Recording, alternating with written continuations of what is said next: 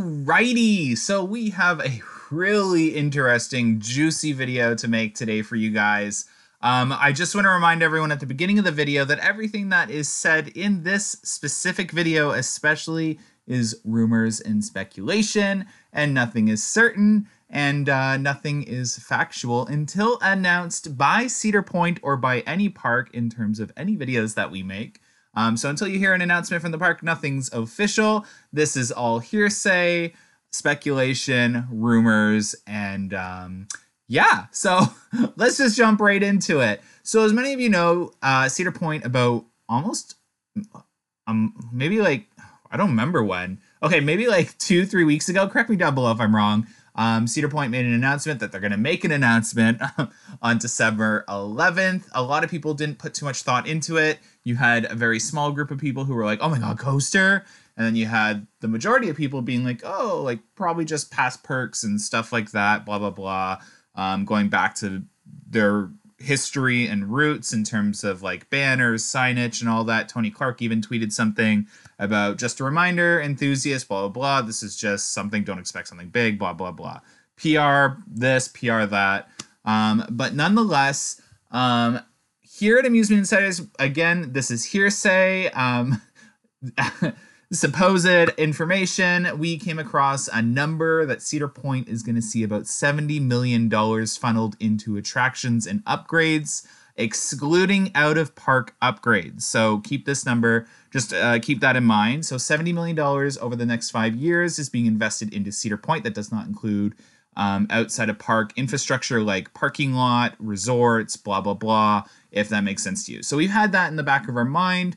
Um, and uh, for any of you who have been paying attention to Canada's Wonderland um, in the past, Canada's Wonderland has had attractions stolen, um, per se, if you want to use the word stolen, um, or delayed for Cedar Point. So, for those of you that don't know, Valravn was a last minute addition to accompany the hotel renovations.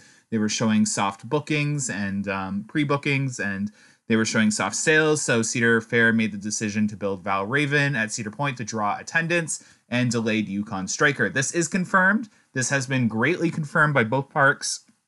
Um, that Yukon Striker was meant for earlier edition and it was delayed to make room for Valravn over at Cedar Point. We're now seeing things being delayed at Canada's Wonderland yet again. So, for those of you that didn't um, here. Uh, the hotel at Canada's Wonderland has a 2021 approximate opening date um, for Q2.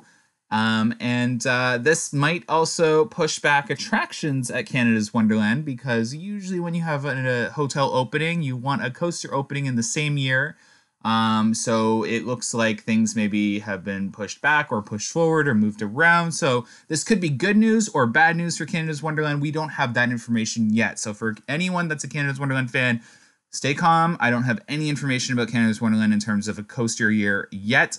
I do have a pretty good understanding of the next five years at Canada's Wonderland, and that's through conversations that we've had with park officials um, and stuff like that. And I'm just kind of dropping little apples here and there for us to kind of digest. Anyways, nonetheless, let's get back on topic. Cedar Point. So, with that in mind, Canada's Wonderland has been one of those parks that usually, if you see a delay or something pushed back, it's to benefit a park like Cedar Point and Cedar Point only. That's all we've shown so far.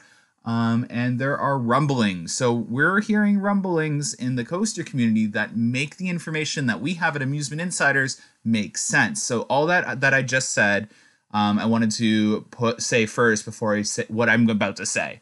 Um, sorry, this is really late. I've had a really rough day, but I wanted to get this video out because I was like, oh my god, the information that I have makes sense now. So we're hearing rumblings, and I'm sure a lot of you have been thinking this that Winterfest could be coming to Cedar Point um, in the next year or two. And that might be part of the announcement on December 11th. For those of you being like, no, there's no way, they've already said in stockholders' calls that it wouldn't really make sense at Cedar Point, blah, blah, blah, or you've heard like park officials say that. I'm here to tell you that Canada's Wonderland had one of the most successful openings of an event I've ever seen. Winterfest was so crowded. If any of you were paying attention to us on Instagram, Amusement Insiders, plural on Instagram. If you aren't already, go follow us.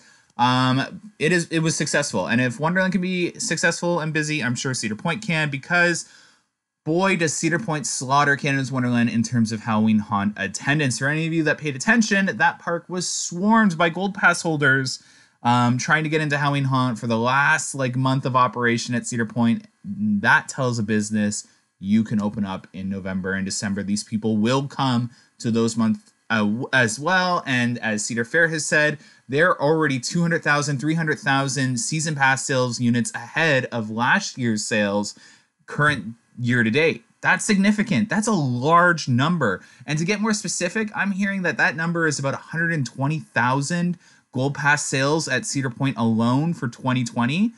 120,000 Gold Pass sales alone for 2020. That's a number that is alleged. Okay, I'm using the word alleged for a very specific reason to save myself. Um, but nonetheless, um, that's a large number, and boy, uh, do they need investments, and they need investments badly. So, as many of you know, Cedar Point has also purchased a resort close to Cedar Point, um, and that's a very big purchase. For I don't know the exact, I think it's Saw Creek Mill or something like that. Again, comment down below. Cedar Point has purchased it. It's a very massive golf resort, and they're renovating it to reopen. So Cedar Point is expecting large attendance numbers throughout 2020. Again, that's going to continue into 2021. It is a great deal, the Gold Pass, and people are going to buy it. And if Cedar Point throws Winterfest on top of that, you're going to get even more people buying the 2020 or in 2021 season pass, Gold Pass for Cedar Point, and attendance is just going to keep skyrocketing. And this is exactly what Cedar Point and Cedar Fair want for Cedar Point. So, what does that mean? It means more investments. This is something that we've already known. The $70 million number that Amusement Insiders has been sitting on makes so much more sense now. That's like two Orions in a five year period, just to put that into perspective, with 10 million to spare. So um, that's, a, that's a large number. So, what could they possibly be doing? Well, wouldn't it be crazy? Let's just say, okay, I'm not saying that we believe this or we think this, but let's just say December 11th is a lot more important than you think. For those of you that don't know, December 11th is 150 days until opening date. There was a very specific reason they chose December 11th to make the announcement. It wasn't last minute, it wasn't blah, blah, blah. It's a very specific date. It's 150 days until the opening of Cedar Point's first day of operation. And uh, let's just say a family, like, wouldn't it be crazy if Cedar Point added a family coaster or a kid coaster in 2020 and then a big coaster in 2021, I think it would be a little bit crazy to see that. Um, I'm not gonna put that. I'm not gonna say that's happening, obviously, because it's really late. This isn't like Cedar Fair to make an announcement like this. Um, they usually like to make their coaster announcements when they start selling season passes. So I can't really see it being in a massive coaster. I mean, a lot of people are hoping for that massive GCI model. Um, but from what I'm hearing from IAAPA, that's been sold to a Chinese park or a park um, somewhere in Asia. So I can't see Cedar Fair getting that dueling massive GCI coaster, but I definitely see a GCI or a flyer in the future for Cedar Fair. But does that mean it's coming next year? No, not at all. If we're get if Cedar Fair were to invest in a coaster at Cedar Point for 2020, and let's say if it wasn't last minute or if it is last minute, I really honestly think that they would go down the kid family route. So I'm just saying, wouldn't it be crazy if they were to make like a little family kid announcement um, for the 2020 season on December 11th with Winterfest packed into that? Um, it sounds really crazy, but the numbers are adding up, um, and it makes a lot of sense with the information that we've been kind of sitting on at Amusement Insiders with these new rumblings that we're hearing um, coming and going through the coaster community. I would love. I'm I'm really excited for the December 11th at Cedar Point. I want to hear from you guys now. I don't want to make this video too long because I have a, I have a tendency to ramble on and on with my thoughts in these videos because I don't like to write a script for myself. For those of you that know, um, so I tend to ramble. I'm gonna stop myself. I've said everything I need to say. So I want to hear from you guys in the comment section down below. What do you think the announcement means for Cedar or Cedar Point on December 11th? Um, what are you expecting, and what would you like to see? Because things are getting interesting with the information that's going and circulating around. Is it going to be a coaster? Is there more to the announcement? Is it not going to be a coaster? Wouldn't it be crazy if it was a family coaster? Who knows? But I'm definitely going to sit down and take a bet that Winterfest is coming to Cedar Point in either 2020 or 2021 based off of the success of Halloween Haunt and the Gold Passes. It just makes sense. It's going to happen. For those of you that are Cedar Point fanboys or that's your home park, congratulations. I'm promising you for the most part, hopefully that Winterfest is coming to your park in either 2020 or 2021. Let's hope it's 2020 because honestly, it's one of my favorite events now. Anyways, hopefully you enjoyed this video. Again, this speculation video.